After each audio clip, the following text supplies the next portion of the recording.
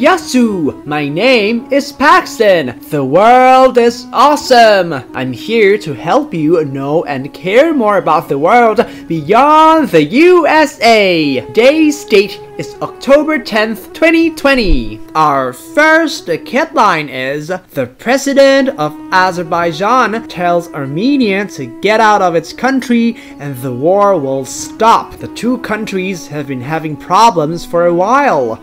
They're basically arguing over a spot of land called the Nagorno Karabakh region. Our second headline is The Golden Dawn is a group in Greece that people are calling a white supremacist group. That means this group believes that white people should have the power, and this group is not afraid to scare other people who are not white. The Golden Dawn group has just been arrested for committing crimes. Our third headline is The Kuwaiti Sheikh Sabah al Sabah passes away at 91 years old. Kuwait is ruled by people who are called emirs, which are a bit like princes. Sheikh Sabah al Sabah ruled Kuwait, which is in the Middle East, for 14 years. Our fourth headline is Led Zeppelin a British rock band most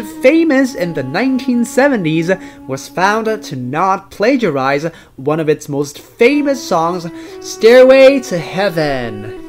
The band had been accused of stealing part of the melody from a different song by a different band. Our fifth headline is France passes a new law to protect child influencers. What's a child influencer? It's a kid, maybe like you, who millions of people listen to on YouTube and places like that. But there need to be limits. This new law helps control how many hours children work and where their money goes when they earn it.